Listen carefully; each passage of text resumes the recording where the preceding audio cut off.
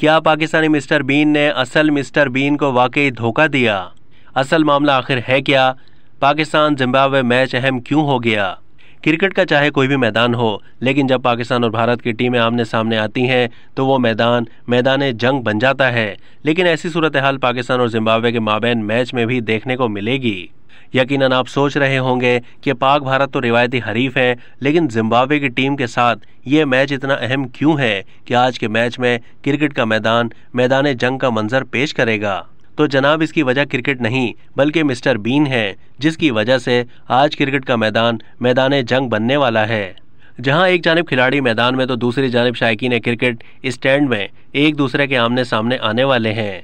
इस जंग का सिलसिला उस वक्त शुरू हुआ, जब ट्विटर पर पाकिस्तान क्रिकेट बोर्ड के ऑफिशियल अकाउंट से पाकिस्तान और जिम्बाब्वे के मैच से पहले पाकिस्तानी खिलाड़ियों की प्रैक्टिस की तस्वीरें शेयर की गईं। इस ट्वीट पर नगोगी चासूरा नामी एक सारिफ ने तबसरा करते हुए लिखा कि एक जिम्बाब्वे का शहरी होने के नाते हम पाकिस्तान को कभी माफ़ नहीं करेंगे।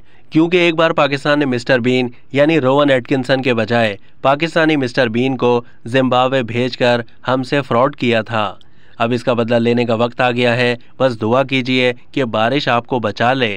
नगोगी चासूरा के इस कमेंट के बाद जिम्बाब्वे के शायकीन क्रिकेट अब आज के होने वाले मैच में माजी का हिसाब बराबर करना चाहते हैं।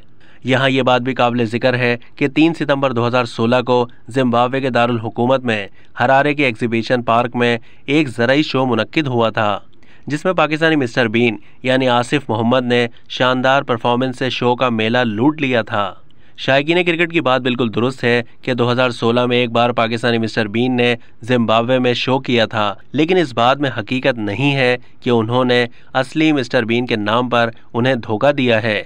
बल्कि उस शो में भी उन्हें पाकिस्तानी मिस्टर बीन के नाम से ही मुतारफ़ करवाया गया था।